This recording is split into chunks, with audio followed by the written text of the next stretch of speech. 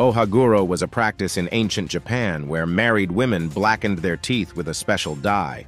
It was considered a sign of beauty, marital status, and good health. Some ninjas trained to eat insects and other strange foods to help them survive in harsh conditions and avoid being poisoned by enemies.